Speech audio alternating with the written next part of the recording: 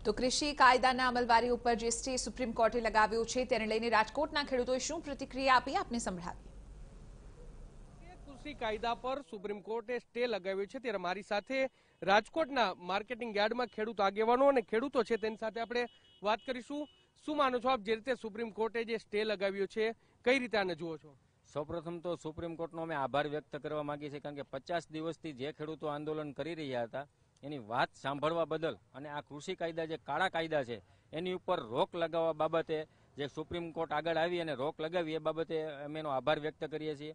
કાળા કાયદા આપણે એટલે કહીએ છીએ કે કોઈ પણ ખેડૂત આગેવાન કે ખેડૂતોને પૂછ્યા વગર જે કાયદા એની ઉપર ઠોકી બેહારવામાં આવ્યા છે, એ કાયદાથી કોઈ પણ પ્રકારનો ખેડૂતોને લાભ થવા નહોતો જતો.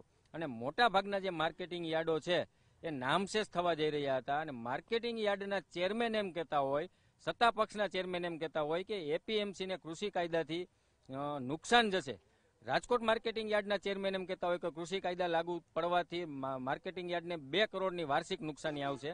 તો સત્તા પક્ષના ચેરમેન કહેતા હોય તો એની, એના ચેરમેનની એની વાત સત્તા પક્ષને સાંભળવી જોઈએ. કારણ કે આ કાયદાથી મોટાભાગનું નુકસાન ખેડૂતોને અને માર્કેટિંગ યાર્ડોને જવાનું હતું. એટલે સુપ્રીમ કોર્ટે અત્યારે જે રોક લગાવી છે, એ સારી બાબત છે. પરંતુ ખેડૂત આંદોલન ત્યાં સુધી ચાલુ રહેશે, જ્યાં સુધી સરકાર આ કૃષિ કાયદા પાછા ન ખેંચે, ત્યાં સુધી અત્યારના હાલના મેસેજ જે મળી રહ્યા છે, એવા છે કે કૃષિ જે કાયદા છે, એ સરકાર પાછા ન ખેંચે, ત્યાં સુધી આંદોલન ચાલુ રહેશે. આંદોલન ચાલુ રહેશે. તમે શું માનો છો? સરકારે સમિતિની પણ રચના કરી છે. આ સમિતિ છે તે ખેડૂતો પાસેથી એ જાણશે કે આ કાયદો તેમને ફાયદાકારક છે કે નુકસાન કરતા? તમે શું માનો છો? આમ જોઈએ તો સુપ્રીમ કોર્ટે જે સ્ટ્રોક લગાવી બહુ બા- બાત સારી કહેવાય.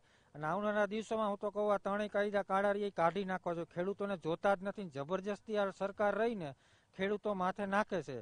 અને ફાયદાની વાત રહીએ તો ફાયદો તો ભાઈ એમાં થતો જ નથી. આમ જોઈએ તો ભાવાંતર યોજના લાગુ કરી દઉં ને, એમાં ખેડૂતોને ખબર જ છે ફાયદો થાય છે. બીજી વાત, જો ફાયદો થતો હોય તો સમજાવવા જવું પડતું નથી. આ લોકો સત્તાધીશો હાલ ખેડૂતોને ગામડે મિટિંગો કરીને સમજાવે છે કે આમાં ફાયદો થાય છે. પણ હકીકતમાં એમાં ફાયદો નથી. અને એમાં કોઈ કેન્દ્રનો કોઈ લેટર નથી ઉલ્લેખમાં કે- આમાં ફાયદો થાય. હકીકત એની મનની અકાલે છે અને મનમાં આવે એવું બોલે છે કે આમાં ફાયદો થાય. હકીકતમાં એમાં ફાયદો થતો નથી. ભાવાંતર યોજના લગાવે ને તો એમાં ફાયદો થાય. અને આમાં તો ખેડૂતોને ગામડે ગામડે મિટિંગ કરે ને ત્રણ કાયદા સમજાવે. પણ એ મનમાં આવે એ બોલે ને લેખિતમાં કોઈ એવી રજૂઆત છે? ખાતરી નથી. તમે તમે શું માનો છો? ખેડૂતોને કઈ રીતે આ નુકસાનકારક આ કાયદો છે? કઈ રીતે જો આપણે આગળ વાત જોઈએ તો જે રીતે ભાવાંતર યોજનાની વાત થાય છે તો એ ખેડૂતને ખેડૂતને ફાયદો ખરેખર ભાવાંતર યોજનામાં થાય છે.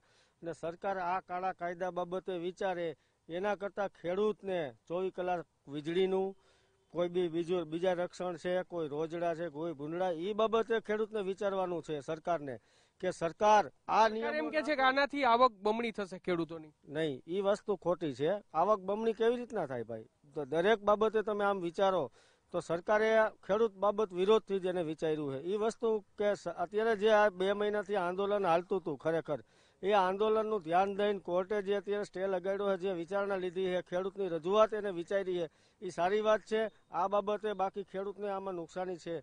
રાજકોટ માર્કેટ યાર્ડમાં જે પણ આપણે અહીંયાથી જ સંકળાયેલા છીએ, વેચવા આવી જે જણસી એ યાર્ડને લગતી વસ્તુથી જ વેચાણ થઈ શકે એ જ ખરેખર સારી વસ્તુ છે ખેડૂત માટે. બસ પણ બીજા કેટલાક લોકો છે, આપ કઈ રીતે જુઓ છો જે કમિટીની રચના થવાની છે, તેને આપ કઈ રીતે જુઓ છો અને આજે કાયદો પર સ્ટે આવ્યો છે, શું માનો છો હવે આને લઈને? ખરેખર તો પહેલાં આપણે સુપ્રીમ કોર્ટનો આભાર માનવો જોઈએ કે એ ખેડૂતોની સાથે આવી અને ખેડૂતોનું જે ખેડૂતો આંદોલન કરી રહ્યા છે એમાં સાથ આપ્યો સુપ્રીમ કોર્ટે. કાયદો ખરેખર ખેડૂતને પહેલી વસ્તુ તો એ કે આ લોકોએ જે ત્રણ કાયદા લાયદા, એમાં ખરેખર ખેડૂતને પહેલાં તો સમજાવ્યા જ નથી કે કઈ પ્રકારના આ કાયદા છે. ખરેખર પહેલાં તો સરકારે એનો અભ્યાસ કરાવવો જોઈએ. આખા દેશમાં ખેડૂત આપણો ખેતી પ્રધાન દેશ છે. એટલા માટે એને ખેડૂતો પાસે અભ્યાસ કરીને પછી ખરેખર તો આ કાયદાનો એને અમલ કરાવવો જોઈએ. કારણ કે જે વસ્તુની ખેડૂતને આજ જ્ઞાન નથી એ વસ્તુ તમે સીધું ખેડૂત ઉપર તમે લાદી દો તો એનો ખેડૂતને અનુભવ જ નથી જે શું છે. હવે હવે કઈ રીતે જોશો? હવે શું સ્ટેન્ડ છે આપનું? હવે સ્ટેન્ડ તો જે સુપ્રીમ કોર્ટે આપણે અત્યારે રોક લગાવી છે અને સુપ્રીમ કોર્ટ જે રચના કરશે સીટની એ ઉપર પછી ખબર પડશે શું થશે હવે. સ્પષ્ટપણે જે કમિટીની રચના કરવામાં આવી છે, તે કમિટીની રચના પોતાનો નિર્ણય શું આપે છે, તે પણ તેના પર પણ ખેડૂતોની નજર રહી છે. જો કે આ કાયદાઓ છે, તે ખેડૂત વિરોધીઓનું અત્યારના રાજકોટના જે ખેડૂતો આગેવાનો અને ખેડૂતો છે તે માની રહ્યા છે ને ભવિષ્યમાં આ કાયદા રદ કરવા જોઈએ તેવી પણ તેઓ માંગ કરી રહ્યા છે. કેમેરા પર્સન હિમાંશુ મુકોણા સાથે મોહિત ભટ્ટ, ટીવી નાઇન રાજકોટ.